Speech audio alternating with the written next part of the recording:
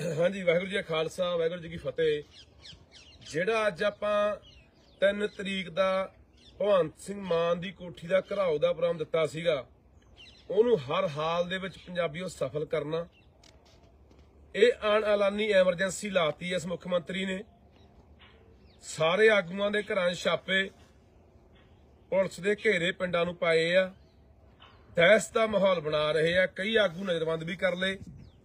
ਪਰ ਮੇਰੀ ਤੁਹਾਨੂੰ ਸਾਰਿਆਂ ਨੂੰ ਅਪੀਲ ਆ ਮੇਰਾ ਵੀਰ, ਵੀ ਪਿੰਡਾਂ ਦੇ ਵਿੱਚ ਹੋਕੇ ਦੇ ਕੇ ਕਾਫਲੇ ਬਣਾ ਕੇ ਇਕੱਠੇ ਹੋ ਕੇ ਨਿਕਲੋ। ਜਦੋਂ ਇਕੱਠੇ ਹੋ ਕੇ ਨਿਕਲੋਗੇ, ਫਿਰ ਜਿੱਥੇ ਇਹ ਰੋਕਣਗੇ ਉੱਥੇ ਬਹਿ ਜਾਓ। ਪਰ ਕਿਸੇ ਵੀ ਤਰੀਕੇ ਨਾਲ ਆਪਾਂ ਅੱਜ ਇਹਦੇ ਘਰ ਮੁਰੇ ਦੀ ਕੋਠੀ ਮੁਰੇ ਪਹੁੰਚਣਾ। ਇਹ ਕਹਿੰਦਾ ਰਿਹਾ ਕਿ ਸਵਾਗਤ ਆਓ, ਸਾਡੇ ਘਰ ਚ ਆਓ, ਸਾਡੇ ਦਫ਼ਤਰਾਂ ਚ ਆਓ, ਅਸੀਂ ਸਵਾਗਤ ਕਰਾਂਗੇ ਅਸੀਂ। ਤੁਹਾਨੂੰ ਜੀ ਆਇਆਂ ਕਹਿੰਦੇ ਦੱਸੋ ਆ ਕੀ ਗੱਲ? ਅੱਜ ਜੇ ਕੋਈ ਇਹਦੇ ਘਰ ਮੁਰੇ ਵੀ ਜਾਣ ਲੱਗਿਆ ਸੀ ਸੰਗਰੂਰ, ਤਾਂ ਉੱਥੇ ਵੀ ਜਾਣ ਤੋਂ ਇਹ ਰੋਕ ਰਹੇ ਨੇ ਜਾਂ ਕਿਸੇ ਵੀ ਤਰੀਕੇ ਨਾਲ ਇਹਨਾਂ ਨੇ ਕੋਸ਼ਿਸ਼ ਕੀਤੀ ਆ ਵੀ ਇਹ ਪ੍ਰੋਗਰਾਮ ਜਿਹੜਾ ਸਫਲ ਨਹੀਂ ਹੋਣ ਦੇਣਾ। ਤਾਂ ਸਾਰੇ ਆਗੂਆਂ ਦੇ ਘਰੋਂ ਘਰੀ ਛਾਪੇ, ਨਜ਼ਰਬੰਦ ਵੀ ਕਈ ਕਰ ਲਏ ਗਏ ਆ, ਕਈ ਮੁੰਡਿਆਂ ਨੂੰ ਵੀ ਚੱਕ ਕੇ ਲੈ ਗਏ ਆ।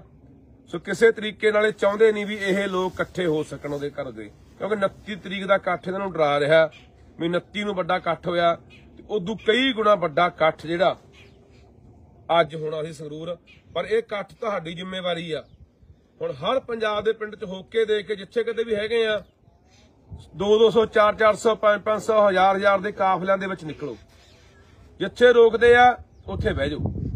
ਜੇ ਨਹੀਂ ਜਾਣ ਦਿੰਦੇ, ਇੱਕੋ ਹੀ ਗੱਲ ਕਰਨੀ ਨੂੰ ਕਿ ਸ਼ਾਂਤਮਈ ਤਰੀਕੇ ਨਾਲ ਹੀ ਜਾਣਾ ਚਾਹੁੰਦੇ ਆ।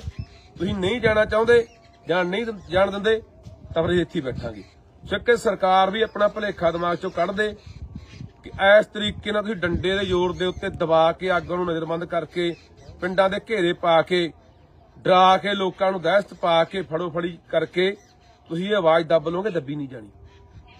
ਦੁਬਾਰਾ ਫਿਰ ਪੰਜਾਬੀਓ ਮੈਂ ਕਹਿੰਦਾ ਇਹ ਮੌਕੇ ਬਾਰ-ਬਾਰ ਨਹੀਂ ਆਉਂਦੇ, ਆਪਾਂ ਪਹਿਲਾਂ ਕਈ ਵਾਰੀ ਦੇਖ ਚੁੱਕੇ ਆ ਆਪਾਂ ਪਹਿਲਾਂ ਵੀ ਘਰਾਂ 'ਚ ਬੜੇ ਦਾ ਨੁਕਸਾਨ ਖਾਦਾ ਅੱਜ ਵੀ ਘਰਾਂ 'ਚ ਵੜ ਕੇ ਨੁਕਸਾਨ ਹੋਰ ਖਾਵਾਂਗੇ। ਸੋ ਇਸ ਕਰਕੇ ਬੇਨਤੀ ਆ ਮੁੱਖ ਮੰਤਰੀ ਦੇ ਘਰ ਦੇ ਅੱਗੇ ਹਰ ਹਾਲ ਪਹੁੰਚਣਾ ਤੇ ਇਹ ਅੱਜ ਦਾ ਜਿਹੜਾ ਪ੍ਰੋਗਰਾਮ ਹੈ, ਇਹਨੂੰ ਸਫਲ ਕਰਨਾ ਹੀ ਕਰਨਾ। ਸੋ ਅਪੀਲ ਆ ਸਾਰਿਆਂ ਨੂੰ, ਕਿਉਂਕਿ ਅਸੀਂ ਤੁਹਾਨੂੰ ਪਤਾ ਹੀ ਆ ਕਿਸ ਤਰੀਕੇ ਨਾਲ ਹੀ ਪਹੁੰਚਾਂਗੇ ਇਸ ਤਰੀਕੇ ਨਾਲ ਉੱਥੇ। ਪਰ ਹਰ ਹਾਲ ਤੁਸੀਂ ਸਾਰਿਆਂ ਨੇ ਪਹੁੰਚਣਾ ਤਾਂ ਵੱਡੇ ਇਕੱਠ ਦੇ ਨਾਲ ਹੀ ਇਹਨਾਂ ਦੀਆਂ ਜਿਹੜੇ ਚੂੜਾਂ ਹਿੱਲਣੀਆਂ ਨੇ। ਸੋ ਇਹ ਜਿਹੜੀ ਡਿਕਟੇਟਰ ਬਣਿਆ ਹੋਇਆ, ਜਿਹੜਾ ਤਾਨਾਸ਼ਾਹ ਬਣਿਆ ਹੋਇਆ, ਕਿ ਮੈਂ ਲੋਕ ਇਕੱਠੇ ਵੀ ਨਹੀਂ ਹੋਣ ਦੇਣੇ। ਇਹ ਕਹਿੰਦਾ ਹੁੰਦਾ ਸੀਗਾ, ਲੋਕਾਂ ਦੇ ਡਾਂਗਾ ਪੈਂਦੀਆਂ, ਕਦੇ ਪਟਿਆਲੇ, ਕਦੇ ਬਾਦਲ, ਅੱਜ ਤੂੰ ਕੀ ਕਰ ਰਿਹਾ? ਪਰ ਜਿਹੜਾ ਰਵਈਆ ਤੂੰ ਅਪਣਾਇਆ ਹੋਇਆ, ਇਹਦਾ ਮੂੰਹ ਤੋੜ ਲੋਕ ਤੇਰਾ ਜਵਾਬ ਦੇਣਗੇ।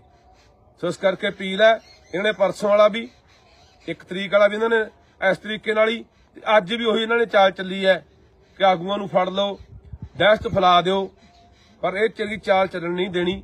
ਸੋ ਆਓ ਮੇਰਾ ਵੀਰ, ਆਪਾਂ ਅੱਜ ਘਰਾਂ ਚੋਂ ਨਿਕਲ ਕੇ ਮੈਂ ਫੇਰ ਕਹਿਣਾ, ਹੋਕੇ ਮਾਰ ਕੇ ਪਿੰਡਾਂ 'ਚ ਇਕੱਠੇ ਹੋ ਜਾਓ ਟਰਾਲੀਆਂ, ਟਰੈਕਟਰ ਲੈ ਕੇ ਨਿਕਲੋ। ਜਿੱਥੇ ਰੋਕਦੇ ਉੱਥੇ ਟਰੈਕਟਰ, ਟਰਾਲੀਆਂ ਲਾ ਕੇ ਜਾਮ ਲਾ ਦਿਓ ਫਿਰ। ਉਹਦੀ ਜ਼ਿੰਮੇਵਾਰੀ ਸਰਕਾਰ ਹੋਊਗੀ ਜੇ ਨਹੀਂ ਜਾਣ ਦੇਣਾ ਚਾਹੁੰਦਾ। ਸੋ ਆਜੋ ਫਿਰ ਆਪਾਂ ਕਿਸੇ ਤਰੀਕੇ ਨਾਲ ਉੱਥੇ ਪਹੁੰਚ ਗਏ। ਵਾਹਿਗੁਰੂ ਜੀ ਖਾਲਸਾ, ਵਾਹਿਗੁਰੂ ਜੀ ਕੀ ਫਤਿਹ।